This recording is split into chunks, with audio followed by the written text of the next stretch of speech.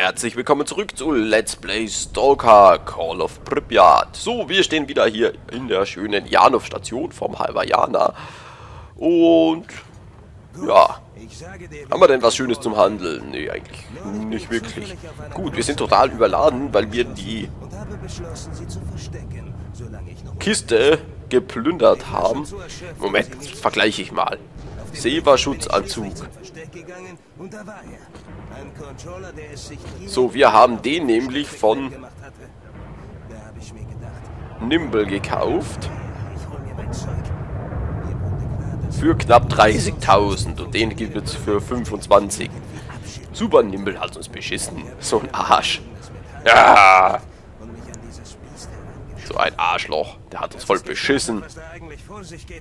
Gut, es gäbe natürlich noch die Möglichkeit. Bis dann, als es dann versucht hat, mich zu manipulieren, habe ich ihn mit meinem Gewehrkorb in den Todesstoß versetzt. Und das war's. Der führt hier Selbstgespräche. Äh. Flint. Schön. Wir müssen ja noch rausfinden. Wir hatten ja letztens eine Mission angenommen, wie wir äh, da der eine verschwundene der die einen ja hintergangen hat. Ähm, Universal Schutzanzug. Hat denn der ein... Nee, der hat keinen Dings. Gut, egal, ich leg das Zeug mal hier ab. Was denn jetzt? Schutzanzug, ja. Den nehme ich dann, wenn ich ihn wieder brauche. So, ähm, ich lade hier mal kurz das Zeug ab. Ach so, das müssen wir natürlich drin lassen. So. Das war, glaube ich, für, ja, Maximalgewicht. Haben wir denn noch ein Artefakt hier für Maximalgewicht plus 12? Schön. So, das tauschen wir nämlich jetzt aus. Dann können wir noch mehr Gewicht tragen. Und zwar 12 Kilo mehr. Und das ist nicht wenig. So, die Munition lasse ich auch mal hier. Das sind die Granaten für den AK-Granatwerfer. Hier könnten wir die eigentlich auch hier lassen. Das ist doch eh gut. Gut, eine nehme ich mit. Falls wir mal eine um die Ecke schmeißen müssen. Da haben wir... Zwölf Stück ist doch zu viel. Also wie gesagt, fünf Stück maximal. Aber dann ist auch schon gut. So, von denen nehme ich einen mit, einen mit einen mit. Und hier können wir auch mal abladen. Hoch 3. So viel brauchen wir nie. Das ist ja alles Gewicht immer. So, hier maximal 20. Kommen wir doch leicht aus. Und hier 30. Dürfte doch auch leicht reichen. Medikamente, gut, die wiegen eh nicht viel. Das kann mal relativ egal sein. Und ja, gut, fertig. Dann haben wir wieder ein bisschen abgeladen. So, jetzt quatschen wir mal mit dem. Wir müssen ja mit dem quatschen, weil wir die Chimäre erledigt haben. Den Trapper. So. Gut, Gonta und ich haben die Chimäre in Zartung getötet. 2000. Danke. Je weniger von diesen Biestern hier ihr Unwissen treiben, desto besser für uns alle. Wenn du dich jetzt noch um das andere Viech kümmern könntest. Ja. Natürlich. Es wurde gerade dunkel, als der Jäger das Biest gesehen hat. Die Chimäre war unterwegs in Richtung Belüftungsanlage.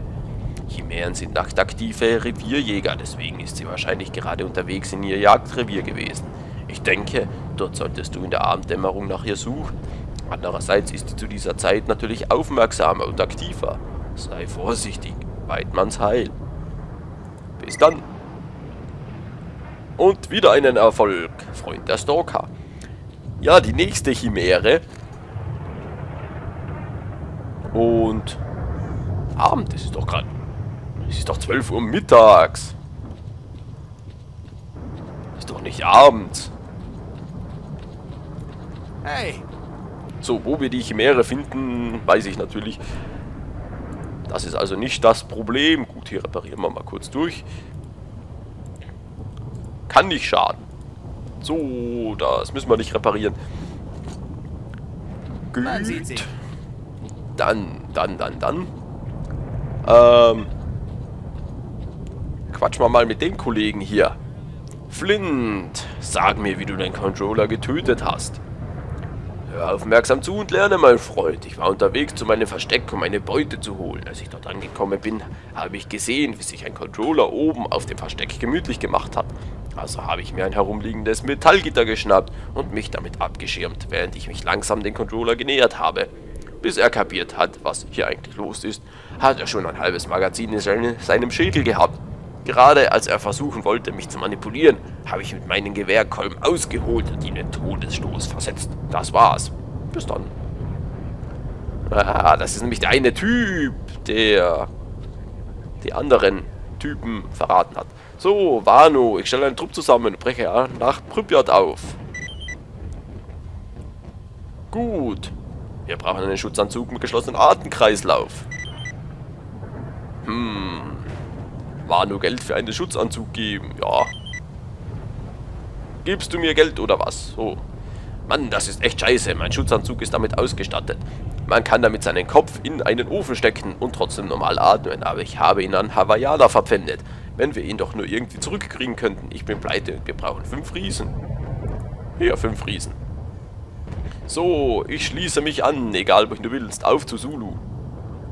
Natürlich, wir sollten unterwegs Hawaiian einen Besuch anstatten, abstatten, um meinem meinem Schutzanzug zurückzukaufen. Und ich kann heute nicht lesen. Das ist furchtbar. Was gibt's? So.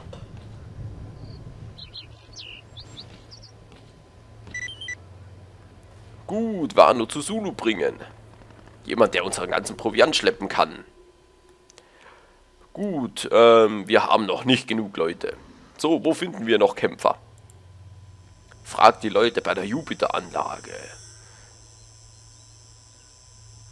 Bei der Jupiter-Anlage, da ist doch gar niemand.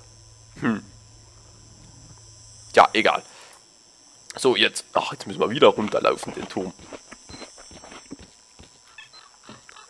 Gut, also wir hätten unseren ersten Begleiter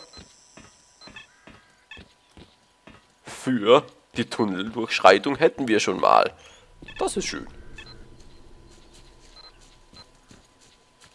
Ähm, steck doch mal die Waffe weg. Sonst dürfen wir hier nicht rein. So, wer bist du denn? Homeboy. Hat ein geiler Name. Ähm, wer bist du? Gorilla? Nein. Good, she's lost. Du wirst uns doch sicher helfen. Onkel Cha, kommst du mit nach Pripyat?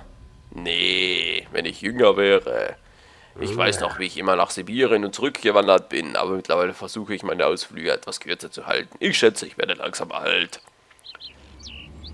Gut, du willst auch nicht.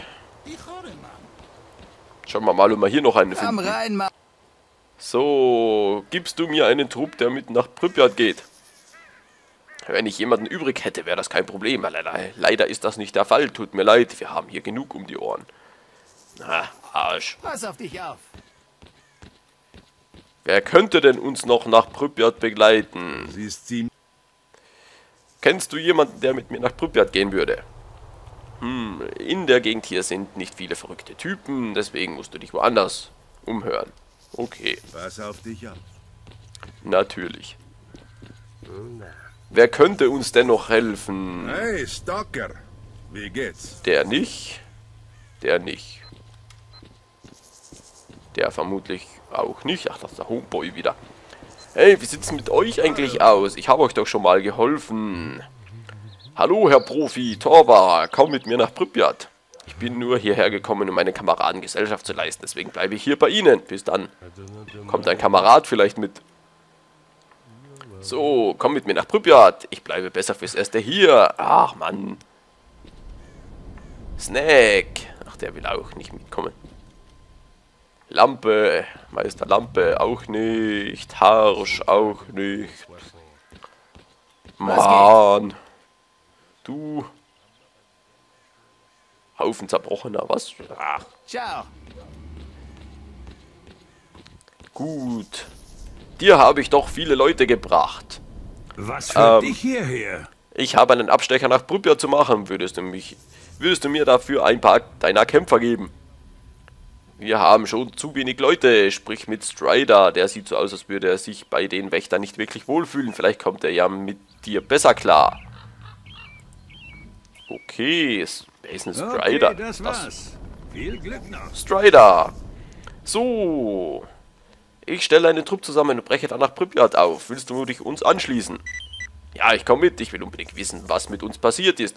Hoffentlich finde ich in Pripyat die Antwort auf diese Frage. Ich muss nur Schulga Bescheid sagen, aber ich denke nicht, dass er was dagegen hat. So, und du brauchst einen Schutzanzug.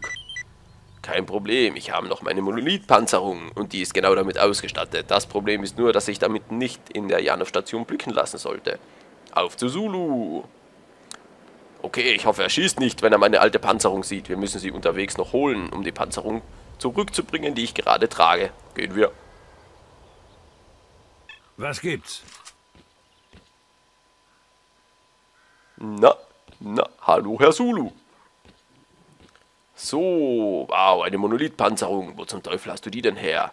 Das war Teil eines Sets, darf ich vorstellen. Strider, ein ehemaliger Monolithkämpfer. Wusste gar nicht, dass es ehemalige Monolithkämpfer gibt. Naja, wir werden sehen, aus welchem Holz er geschnitzt ist, wenn es richtig losgeht. So. Bis dann. Wir haben noch immer nicht genug Leute. Wir sollten noch ein paar besorgen. Falls wir jetzt noch niemand finden. Gut, das heißt, wir haben schon mal drei Leute. Das ist schon mal nicht schlecht. Ja, wir hätten natürlich mit einem auch schon gehen können, aber... Ich erinnere nochmal, Schwierigkeitsgrad. Hm, ich laufe mal kurz zu äh, Dingens da drüben zur Bahnstation. Da haben wir ja auch noch unser kleines Versteck. Und dann sicher wieder was zum Plündern.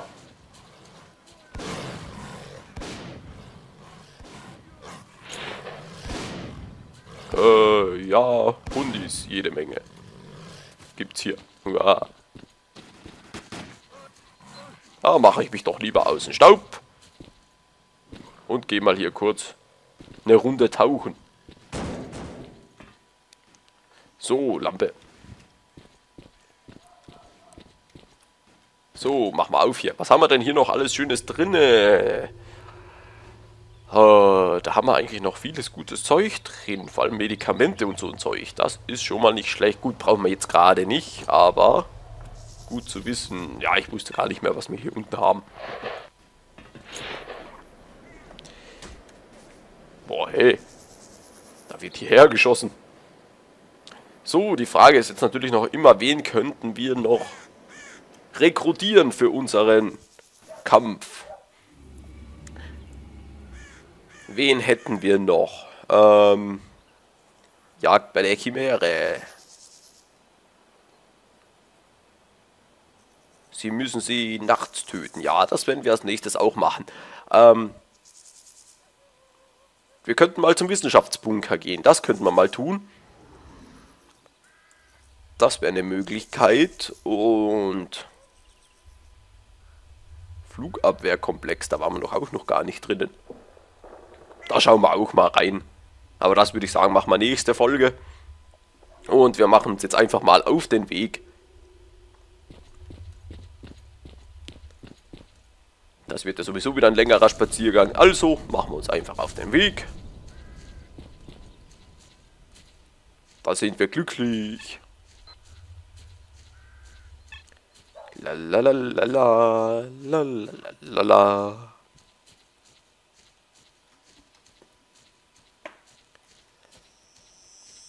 Ah, wenigstens reden jetzt mal nicht. Das ist doch schon mal gut.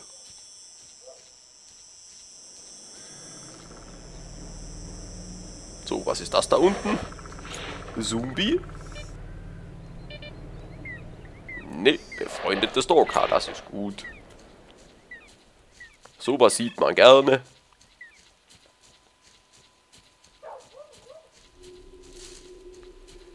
Lalalala. Obwohl, wir könnten da oben beim Banditenlager mal vorbeischauen. Vielleicht wissen die ja auch noch den einen oder anderen Kämpfer. Ach, zum Dings geht's da entlang.